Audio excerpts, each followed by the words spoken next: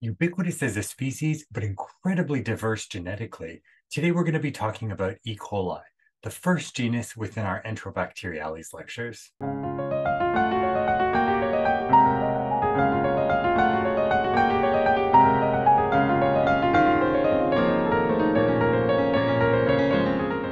Coli is a key representative of the order Enterobacteriales, a diverse group of organisms that includes many genera of importance to both human and veterinary medicine. All of these organisms are gram-negative, fermentative rods, and within the order Enterobacteriales, we have seven bacterial family, including 88 different genera.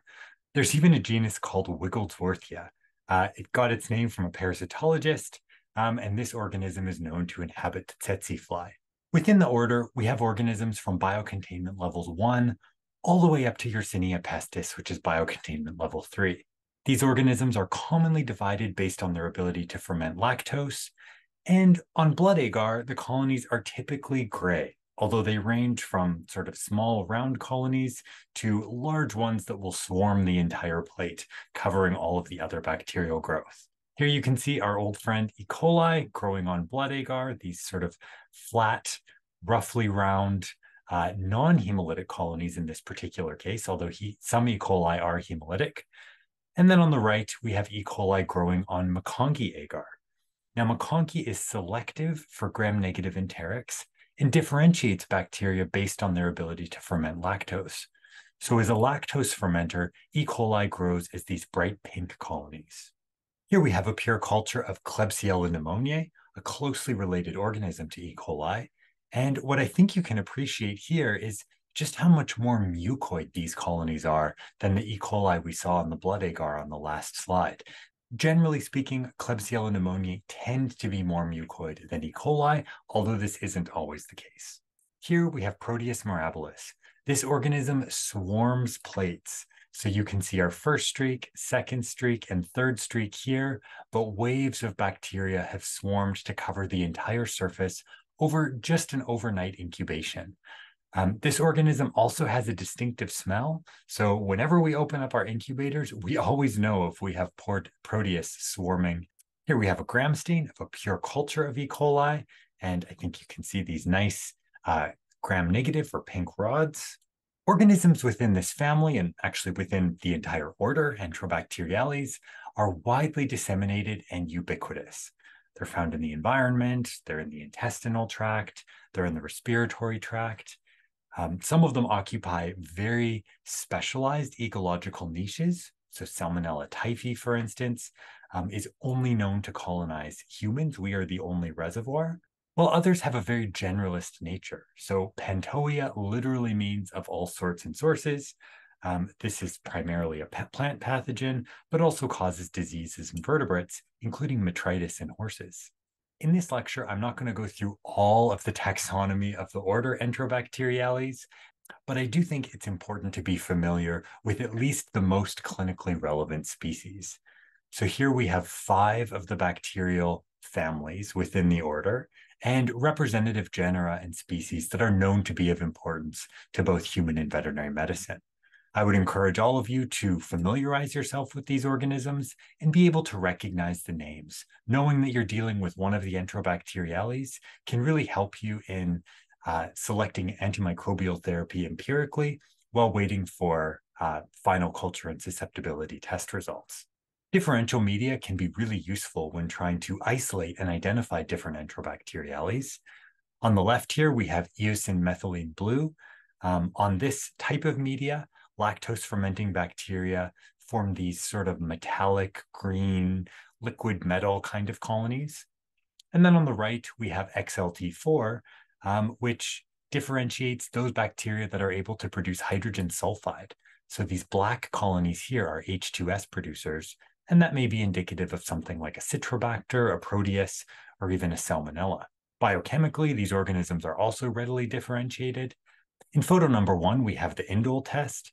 The tube on the left is an uninoculated tube, and you can see it just has this straw yellow color to the media. On the right, we have E. coli, which is indole positive. In the center, we have the citrate test. Um, on the left, we have an uninoculated tube. In the center, we have an E. coli, which is citrate negative. And then on the right, we have a Klebsiella pneumoniae, which is citrate positive, resulting in this color change to blue. And finally, in picture three, we have the urease test. So an uninoculated tube on the left, E. coli in the center, and Klebsiella pneumoniae on the right. The tube motility test can also be very, very useful. Some enterobacteriales are motile, some are non-motile. Um, what we're looking for in this assay is whether we get bacteria spreading out from a stab uh, inoculation that we make into the semi-solid media. So here we have an uninoculated tube. There's no purple growth, which indicates bacteria. Here we have a non-motile organism. So we've stabbed in our bacteria and you can see that it's not growing out from this initial stab point.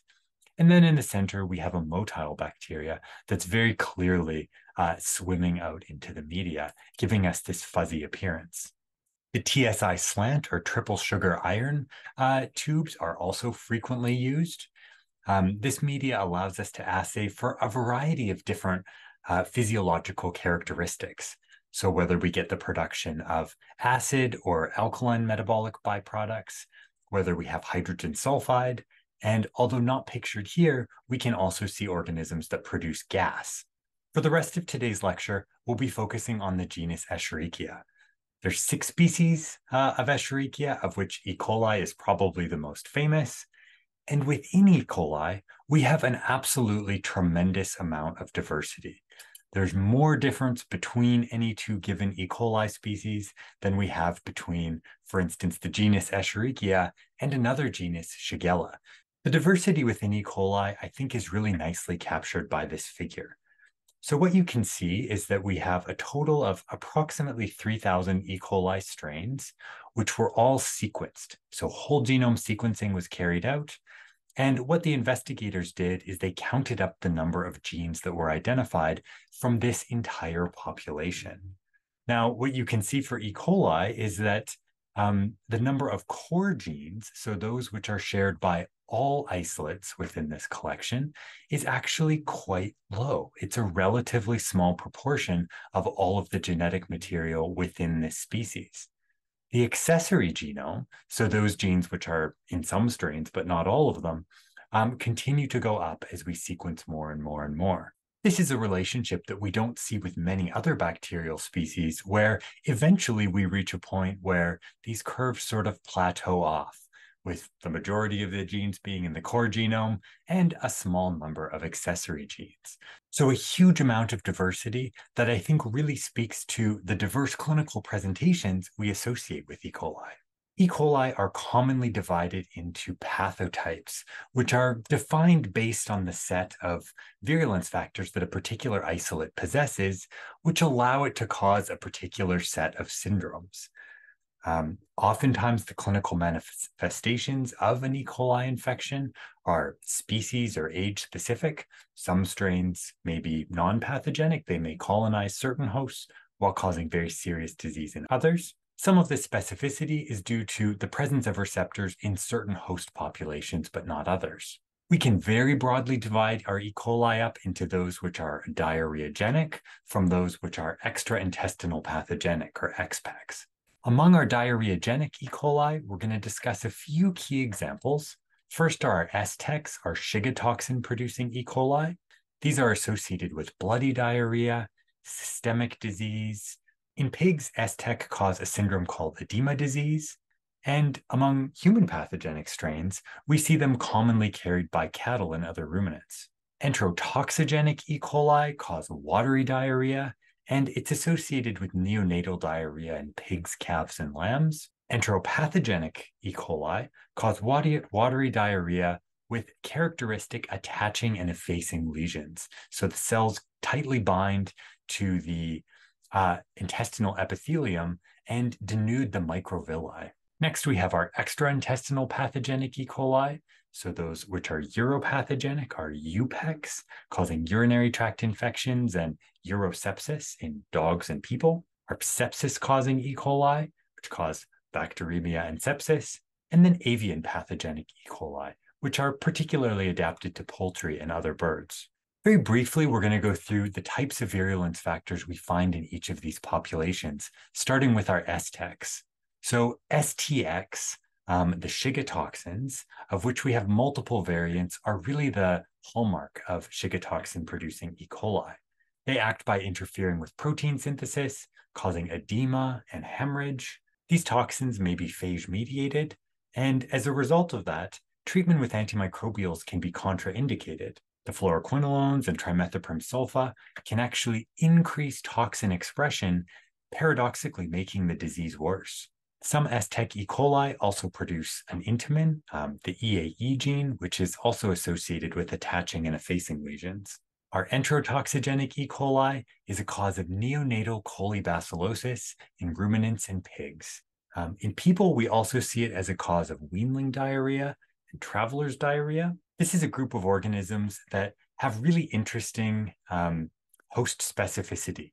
So we see both species specificity and age specificity based on the presence of receptors in the host. So our E. coli expressing F4 fimbriae, these uh, sort of microbial grappling hooks that allow them to grab onto host receptors, are uniquely targeting uh, receptors found in piglets.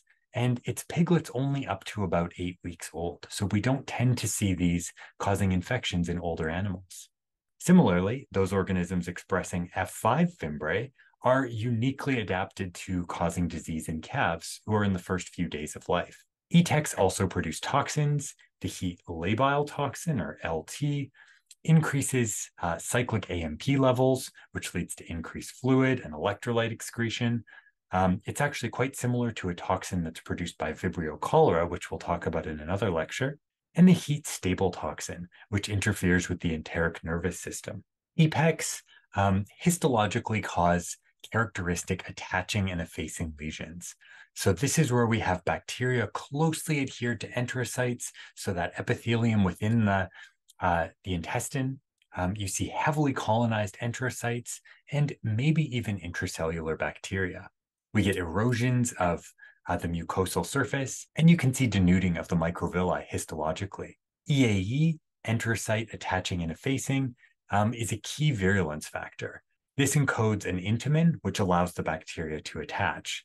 And E. coli producing EAE are increasingly recognized in companion animals, potentially as a cause of uh, enteritis that mimics typical parvovirus presentation uropathogenic E. coli cause opportunistic uh, urinary tract infections in people and companion animals.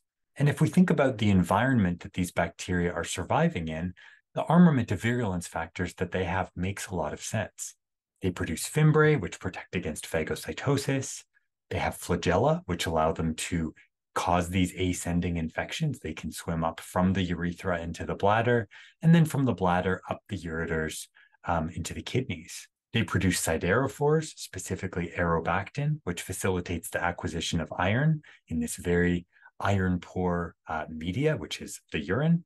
And they're frequently also hemolytic, producing alpha hemolysin, which is a pore forming toxin. Uropathogenic E. coli also sometimes have the ability to cause intracellular infections. So they're not simply in the lumen of the bladder, but they can get into the uroepithelium and sort of hide out from the immune system.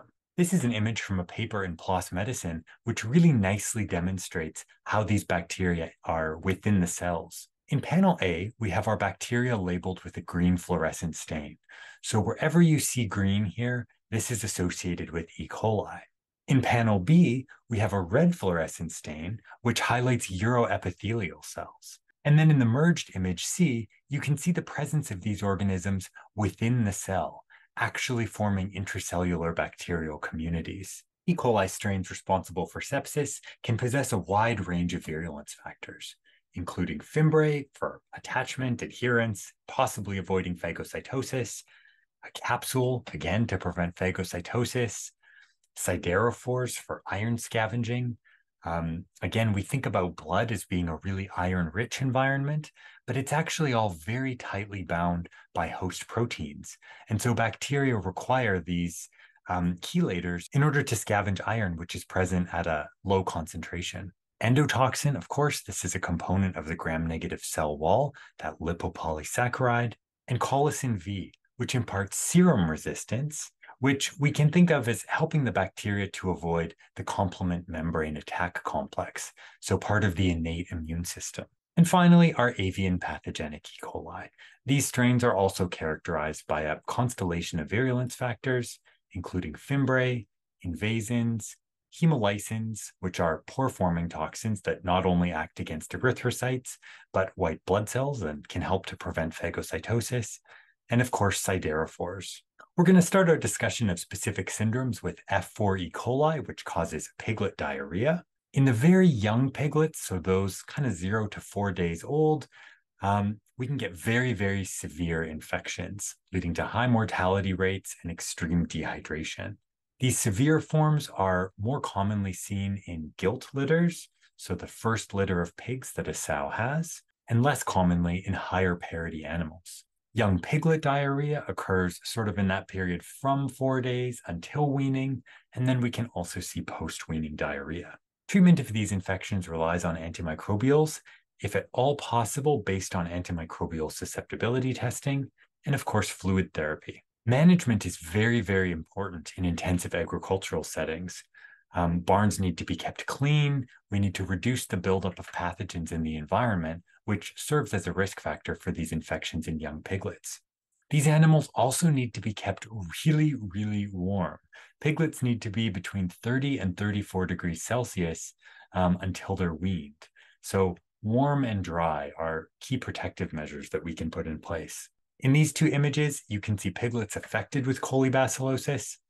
On the left-hand side, um, we have staining of the upper legs, the tail, and the perineum with feces, just demonstrating how profuse the diarrhea can be. And then on the right, we have some severely dehydrated piglets. You can see just how emaciated and sickly they are.